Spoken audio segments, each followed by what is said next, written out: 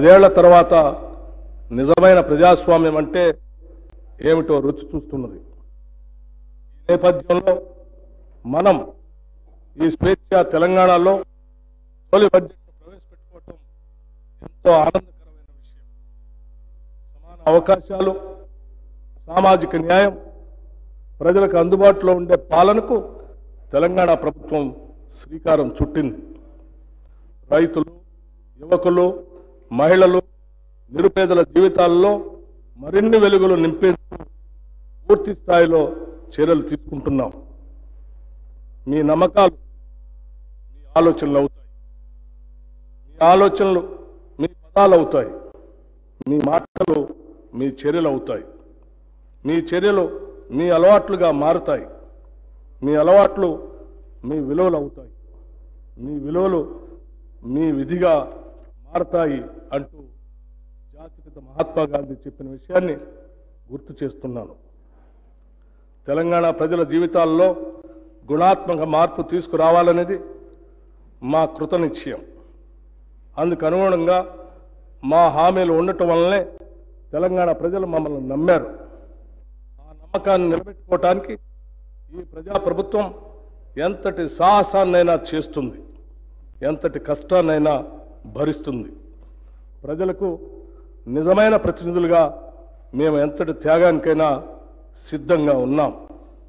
పాలకులకు ప్రజలకు మధ్య ఉన్న ఇనుప కంచెలు తొలగించడంతో ప్రారంభమైన మా ఈ ప్రజాపాలన మరింత పటిష్టంగా ముందుకు సాగుతుందనటంలో ఎటువంటి సందేహం లేదు.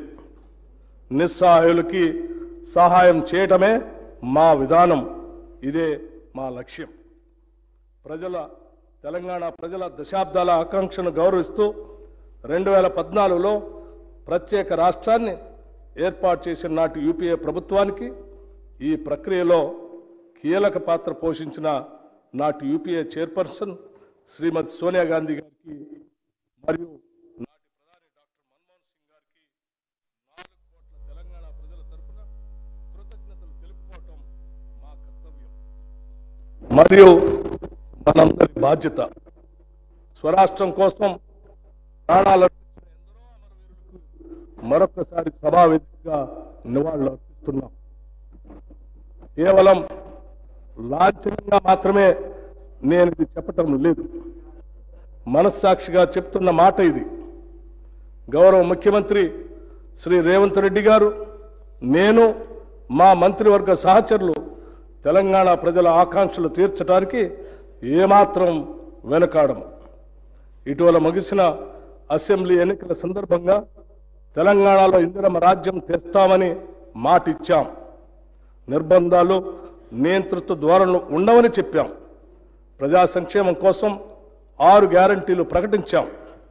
బాధ్యతలు స్వీకరించిన వెంటనే ఇచ్చిన హామీలు చెప్పిన మాటకు కట్టుబడి హామీలకు చట్టబద్ధత కల్పించే ఫైలుపై గౌరవ ముఖ్యమంత్రి శ్రీ రేవంత్ రెడ్డి గారు తొలి సంతకం చేయటం మా ప్రభుత్వ సంకల్పానికి చిత్తశుద్ధికి నిదర్శనం.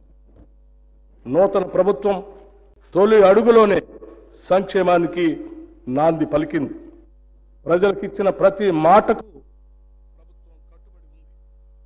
మన రాష్ట్ర పరిస్థితులపై ఈ సభకు ఇదివరకే శ్వేతపత్రం ద్వారా సవివరంగా వాస్తవాలను తెలిపాం. ఇటువంటి విపత్కర ఆర్థిక పరిస్థితుల్లో కూడా మేము ప్రజా సంక్షేమానికి చేసిన వాగ్దానాలకి కట్టుబడి ఉన్నాం. ఆడమ్ స్మిత్ చెప్పినట్లుగా మానవ జీవన ప్రమాణాలు మొత్తంగా పెంచే బహుముఖ ప్రణాళిక అంటూ ఏదీ లేదు.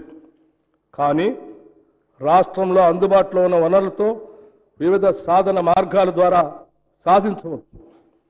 గత పాలకుల నిర్వాకంతో మన ధనిక రాష్ట్రంలో కూడా ఆర్థిక కష్టాలు వచ్చాయి. పూట గడవటం కూడా కష్టం అనేంత కనిష్ట స్థాయికి రాష్ట్ర ఆర్థిక వ్యవస్థను చేర్చారు. రాష్ట్రంలో మౌలిక సదుపాయాల కల్పనకు ప్రాధాన్యత ఇవ్వకుండా ప్రజలకు ఏమాత్రం అవసరం లేని ఆర్భాటాలకు డబ్బు ఖర్చు చేశారు. రాష్ట్రం ఆర్థికంగా ఎంత దురదృష్టకర పరిస్థితిలో ఉందంటే ప్రతి నెల ఒకటవ తేదీన రాష్ట్ర ప్రభుత్వ ఉద్యోగులకు మరియు పెన్షనర్లకు జీతాలు ఇవ్వలేనటువంటి పరిస్థితి.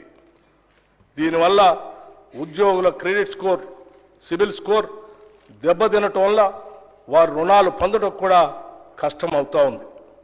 వృద్ధులైన పెన్షనర్లు మందుల కోసం ఖర్చు పెట్టిన డబ్బులు పొందడం కోసం ఎదురు చూసే పరిస్థితి ఉత్పన్నమైంది. అందుకే తెలంగాణ రాష్ట్ర ఆర్థిక పరిస్థితిని ప్రజల జీవితాలను దుర్భరం చేసే దిశగా సాగిన ప్రజా వ్యతిరేక పాలనకు ప్రజలు చరమగీతం పాడారు. ఇదే మన ప్రజాస్వామ్య వ్యవస్థ యొక్క గొప్పతనం. దివాళా తీసిన రాష్ట్ర ఆర్థిక పరిస్థితిని మెరుగుపరచడానికి ఇప్పటికే దుబారా ఖర్చులు తగ్గించాం. రాష్ట్ర ఆర్థిక క్రమశిక్షణతో పాటు మెరుగైన సంక్షేమ పాలన అందించాలన్నదే మా లక్ష్యం.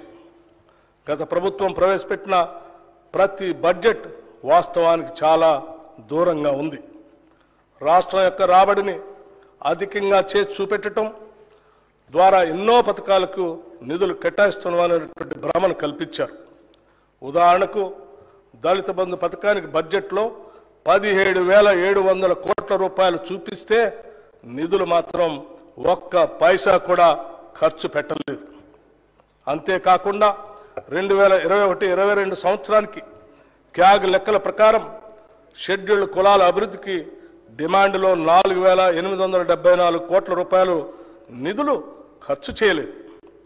గిరిజన అభివృద్ధిలో రెండు వేల తొమ్మిది వందల పద్దెనిమిది కోట్ల రూపాయలు ఖర్చు చేయలేదు. వెనుకబడిన తరగతుల అభివృద్ధిలో ఒక వెయ్యి నాలుగు వందల ముప్పై ఏడు కోట్ల రూపాయలు ఖర్చు చేయలేదు. అదేవిధంగా రైతులకు వడ్డీ లేని రుణాల కొరకు కేవలం రెండు వేల పద్నాలుగు పదిహేను ఆర్థిక సంవత్సరం నుంచి రెండు వేల ఇరవై మూడు ఇరవై నాలుగు ఆర్థిక సంవత్సరం వరకు ఒక వెయ్యి అరవై ఏడు కోట్ల రూపాయలు బడ్జెట్ పెట్టి కేవలం రెండు వందల తొంభై ఏడు కోట్ల రూపాయలు మాత్రమే ఖర్చు పెట్టారు.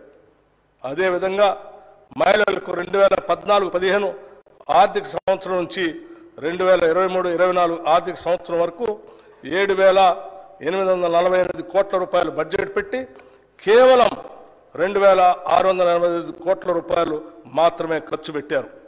ఈ విధంగా సమాజంలోని తొంభై శాతం జనాభా ఉన్న ఎస్సీ ఎస్టీ బీసీ మైనారిటీ మరియు మహిళల కోసం గొప్పలు చెప్పుకోవటానికి పథకాలు బడ్జెట్లో ఉన్నాయి తప్పితే వాటికి నిధుల విడుదల లేవు.